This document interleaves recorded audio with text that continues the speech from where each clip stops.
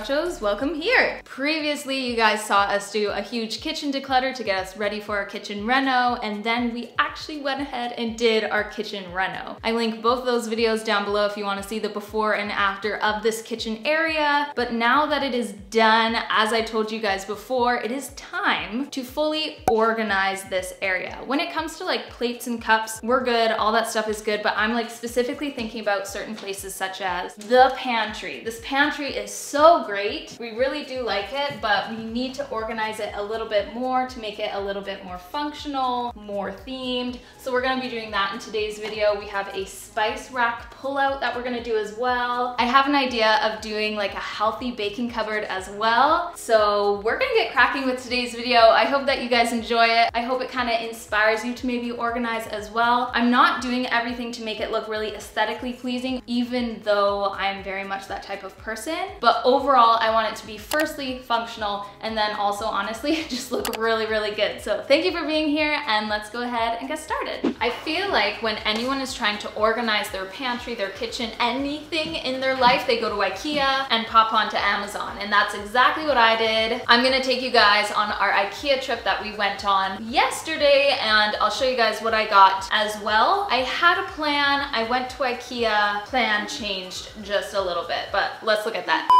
Yeah.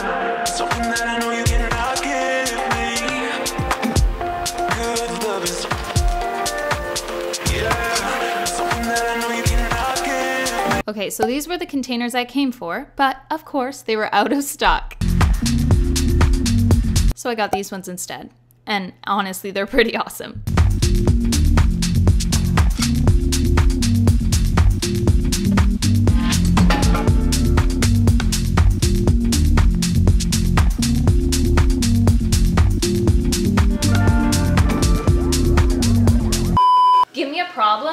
I will fix it pretty much on the spot.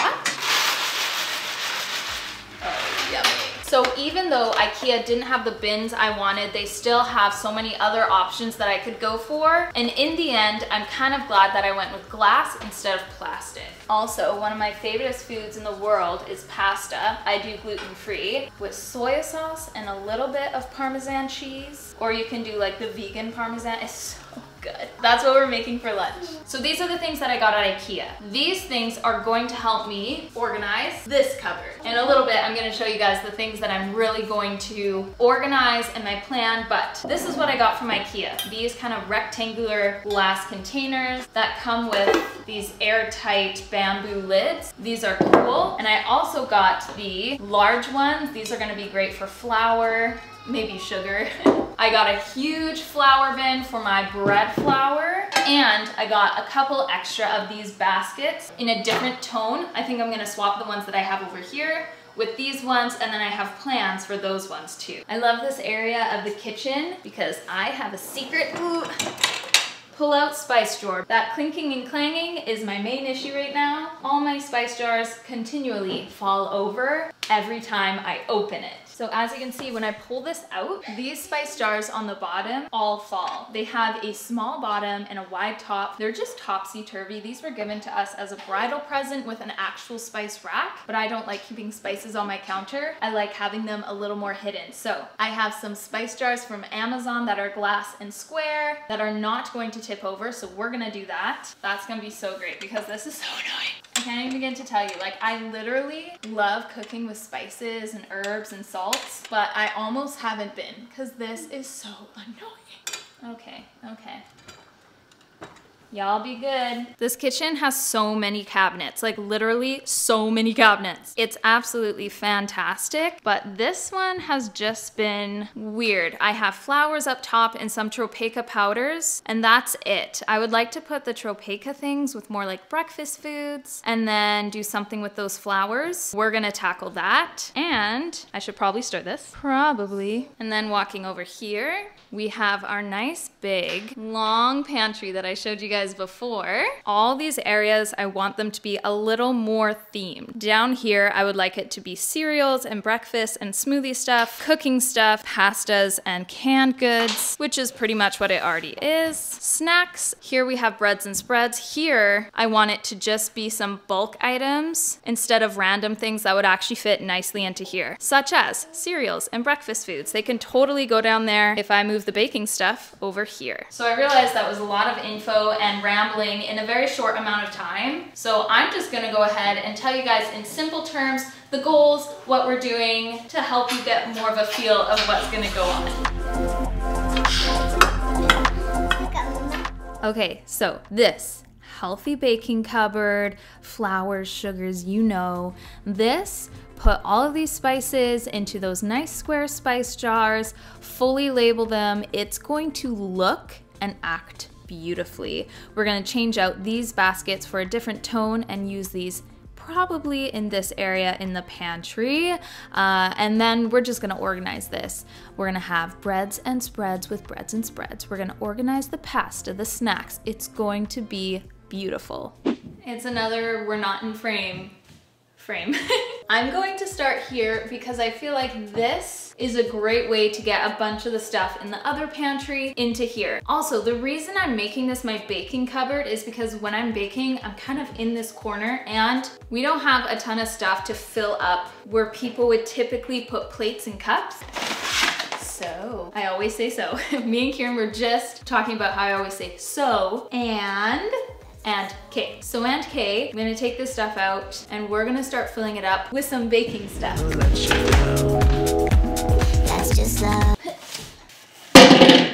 So this is where my baking stuff is right now, as well as there's some chilling in here. These are more like my nut flours and such. But I'm gonna have to take all this, put it over there. I do have some containers from Amazon that are still coming, which are gonna be a huge part of the baking cupboard. But for now, we're just gonna start with what we got.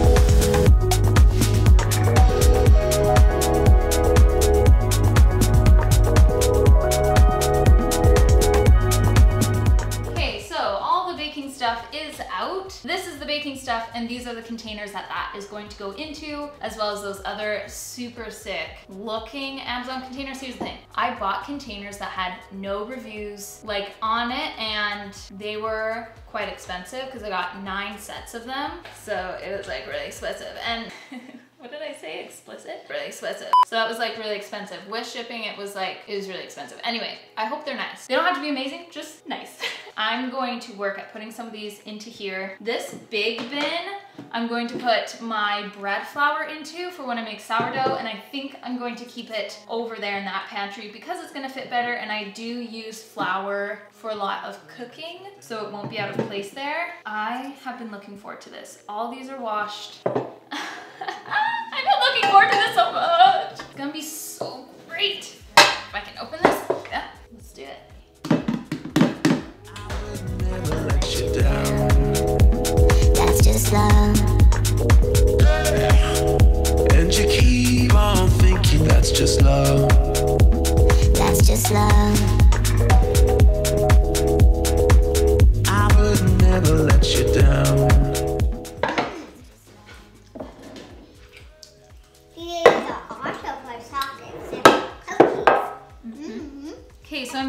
About done here. The smaller containers I'm getting from Amazon, all these little things are gonna go in.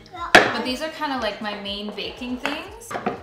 That is coconut flakes. I am going to mix my date sugar and my coconut palm sugar because I find I always put them into the same recipes anyways. And they both got that like caramel. Whoa, that is super strong.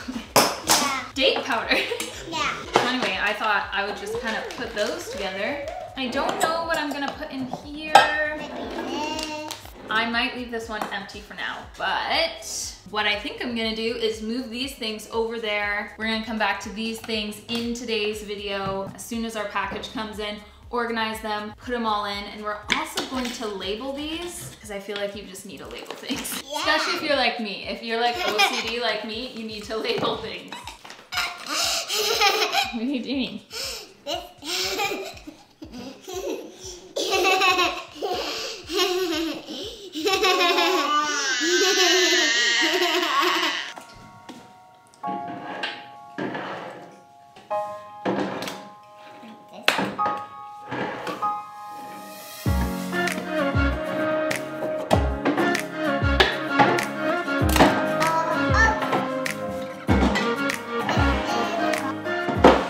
That turned out well. I'm gonna go ahead and put my bread flour into this. I feel like I need a big container for my bread flour and just a small medium-sized one for my whole wheat because I use a little bit of whole wheat for the germ in my sourdough and then a lot of the bread flour which is properly like fermented. Oh man, this is gonna be so good. So we're gonna move this into the pantry. Oh, I like these snaps. These are solid snaps. I am going to place it right here.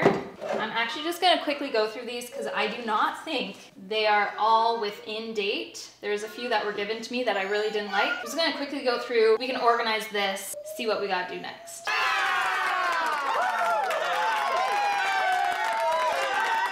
So next we're gonna go into this lower one. This is going to be the cereal smoothie area. I really love breakfast. I'm a huge smoothie person as well. And I feel like I usually have smoothies for breakfast. So breakfast things, smoothie things, that's also going to get rid of all the random cereal we have at the top. We'll have our own special breakfast drawer.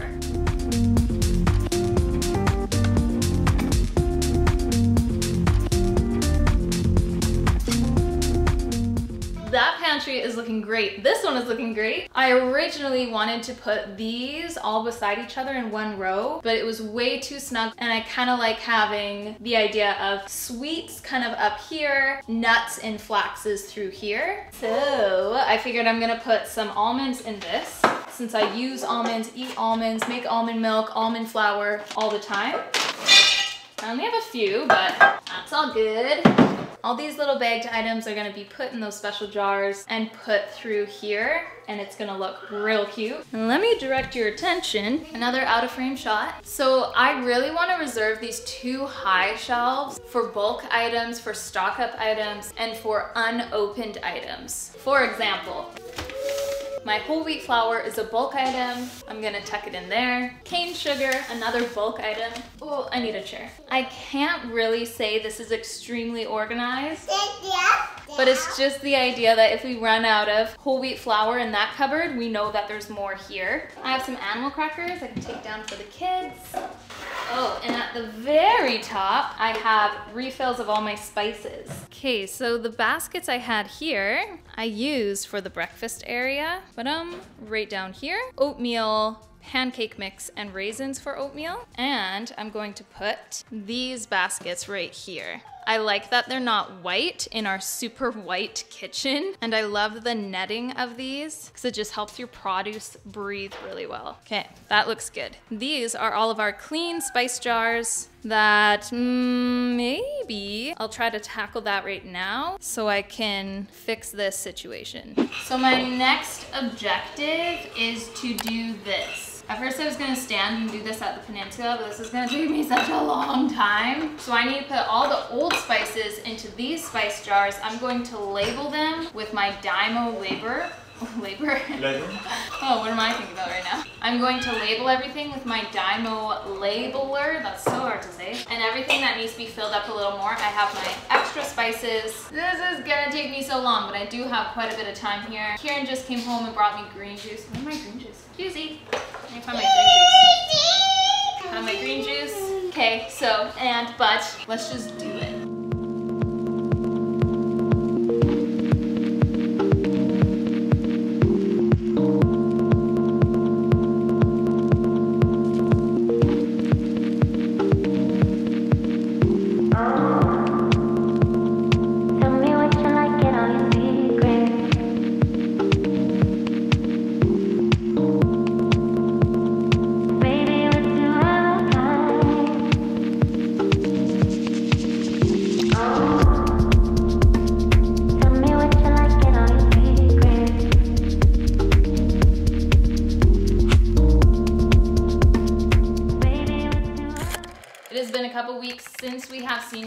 So far, our kitchen organizational kind of situation, it has been working and I have been enjoying it. It's nice having things put into their proper homes and houses so we can easily find it and the kids can do so as well. But we're not done yet because there's a couple things I've decided I want to do and then we also did get our Amazon order which had the rest of our mm, containers. I don't remember what they're called. So, this way, this whole pantry that I've been organizing, I do want to properly label every single drawer. We have five drawers and I want to be able to label them. I think when people come and look after the kids and stuff, it's nice for them if they're feeding the kids, they can see this is where this is, this is where that is. Just makes it a little more simple. Moving over this way, we have these containers. They're beautiful. The reason I bought them was purely for the size. They do look cute. Like they're just, they're kind of cute. They're plastic. I got them from Amazon. I'm just gonna tell you right now, I bought nine different sets of them and they, they became very expensive once you buy nine different sets and have to spend $130 for shipping. But I looked for a couple weeks to try to find this exact size for this right here. I wanted to get something where the depth of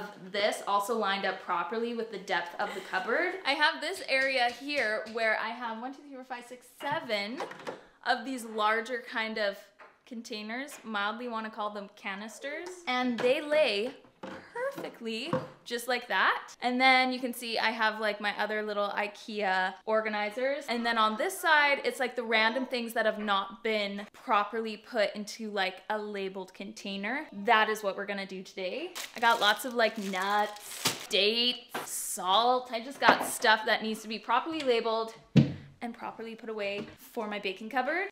Can I have that on my belly again? Oh. It's much hotter now. Ooh, wait. This feels good. You guys can watch me put this on my belly. My belly is so sore. Oh my gosh, and coffee. that feels so good. Just Kieran's warm Chemex on my growing belly. It really, it feels stretchy today. It's not crampy. It feels like it's stretching today. this feels so good. We need two of these. I can warm up, I can warm up the beanbag for you.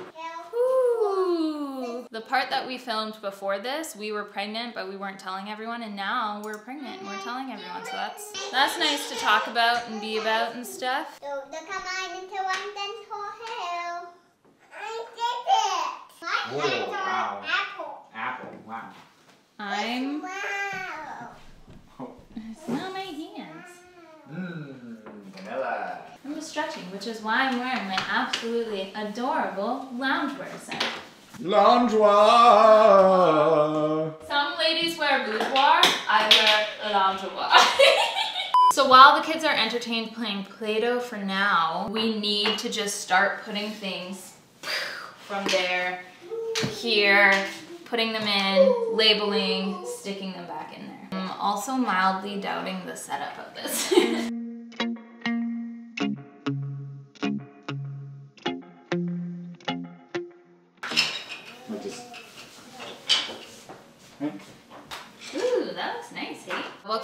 the kids with Play-Doh, we, or I, will tell you, we kind of have reorganized this a little bit.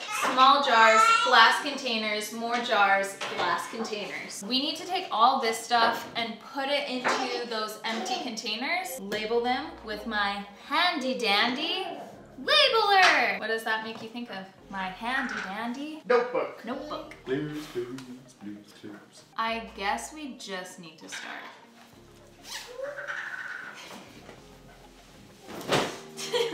Do it.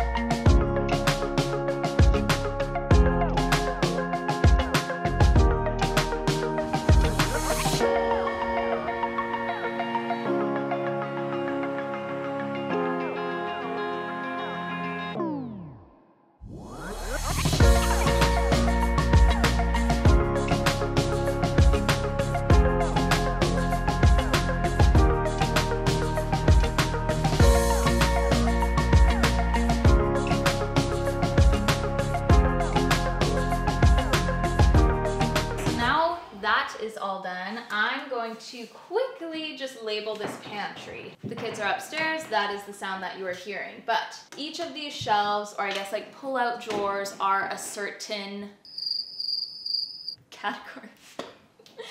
So we have like breads and spreads, snacks, pastas, canned goods, and then like cooking oils and such. And I do have my big thing of bread flour here. At the very bottom that you can't see, that's all of our like cereal and breakfast foods. But I think I'm just gonna label them and just be like beep, beep, beep, beep. Do we really need that? No, but I think when people come and look after our kids, they'll appreciate it. And then on top of that, it's just nice to have everything labeled, organized. It feels good. And Kieran's been using this labeler the whole time, and I want to try to use it. Last time my hand cramped so bad. That's what we're missing. I didn't show you guys. Okay, I'll show you soon. I didn't show you guys my herb pull-out thing. It looks so good. That was the last time I used this, and my hand was like, uh, was like, it was veiny and like old lady. Like nothing wrong with old ladies. They have the softest hands. But I'm going to. Don't you agree?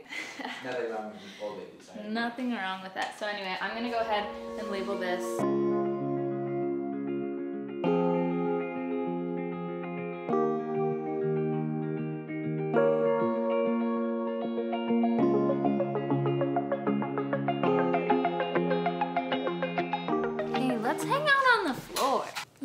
Guys, me guys. Because there is actually two of me. How weird is that? I'm excited to do more pregnancy videos and like see my belly get big and like try to handle it. and another thing, I let go of pretty much all my baby stuff. You guys saw me like declutter like maternity clothes, baby stuff. So I'm gonna have to get a bunch of that. And my job is so great because I know so much stuff does get sent to me and I think that's really, really cool. So there's even extra baby stuff that we have that we're giving away to more friends, more family who are expecting babies because we kind of know that we will either get sent that or we'll have the ability to use those ones again or something. Isn't that fun? Kieran's labeling for me. I got tired of it really quickly. Work with Oh me. My gosh, my tongue is so big. I'm still pretty much sick every morning. I'm super tired. I saw this picture of this woman, pregnant, throwing up in the toilet, and the caption of it is, I've never been happier. And I was like, it's so true. Even when you're sick and throwing up and just so tired, early pregnancy is so magical. It's so nice. I remember growing up and I had friends that had really cute little tongues. So when we do pictures where we'd stick out our tongues, they'd be like, eh, like it was so cute. And then me, I was like, my parents are watching. You guys remember, like, remember it was like the bigger teeth, the bigger tongue. I don't know why I'm talking about this. We're, this is probably so much footage, anyways. I need to sit down and like chit chat with you guys because I just feel like talking. So the labeling is done, and then on top of that, for the breakfast drawer, I decided to put our cereal in these containers because we had three extras. So let's just let's make this look real pretty. So we have our cereals here. We have brown sugar and raisins for when we make oatmeal for breakfast. We have some gluten-free waffle mixes, instant oatmeal, and then a bunch of my smoothie stuff, which is usually what I have for breakfast. So that looks great. Here's just another look at our oils, vinegars, and grains. Grains in the back, lots of oils and vinegars, and then the big tub of bread flour for my sourdough. Pastas and canned goods, which works really nice. Our snacks, which is super cute. And then breads and spreads, which is pretty much like butter, honey, almond spread. We have a little bit of bread here. But anyway, that is all completely labeled and done. We have, bum bum bum, the finished baking cupboard. Look at how nice. So everything that has something in it is labeled. I have a couple empty containers there as well as up here. Nothing is in them just because I didn't have anything to put in them. But as I bake and such, I'm always finding new things so I can always add something there. And then there are a couple things that are not labeled because I don't always have these kind of things on hand, just sometimes. So I don't want to label it and then I always have to put that kind of stuff in there. I can change it up. Oh, and for these ones, the labeling is on the top, which is easy to see. I think it's really cute. So anyway, that is all done, which feels great. I do have these extras, which, hmm, maybe I I have my stevia that I can always put in one. Put some of my Dalgona coffee. This isn't Dalgona. This ah. is, what are you? What are you? Oh, Dandy Blend. Maybe put some of the kid snacks into like these tubs. I actually don't know what I want to do with these, so I'm just gonna put them aside for a time when I go, oh, and then I'll use them. Stevia. Oh man, I'm gonna have to label these again. I'm tired of labeling. I know it's weird. I love the dust of stevia. It's so good. Okay. S T. I'm almost done with you, label maker. Okay, stevia. I can only take so much of labeling. this is my Dandy Blend coffee substitute for when I was not having coffee. It smells so good. I'm not gonna label this because I bet you I'll be out of this pretty soon. Oh, and actually let me show you. They're cool because they all twist into each other, which is nice. And usually I would have these together anyways. Okay. these I'm just going to put the kids' snacks in. Cracker. I actually have more of these. I'm also feeling like by having like these jars and things, I could probably shop more bulk, less bagged and plastic things. These are different colors, but it's kind of fun. The kids will think it's fun. But I can start going to like bulk places and like zero waste places. Bring these jars and just like refill them. You guys want to try a cookie? Yeah. Animal cracker cookie? There, those fit nicely just like that. All done, all done. And come to the ground with me. Boost the lighting so you guys can actually see. Ready? Are you ready? Ah. Man, you couldn't even see the top. Okay, trying it again. Ah. Look, it's all... so here I have more of like my herbs. Here I have some of my like clovey, nutmeggy, cinnamony things. And then here is more of like my red spices, my spicy spices. And then here I just have some randoms. This makes sense. The idea of this came from my mother-in-law's kitchen because she has, I literally think two of these. And they're just the best to organize your spices. Was that everything? Are we done? I think we're done. Thank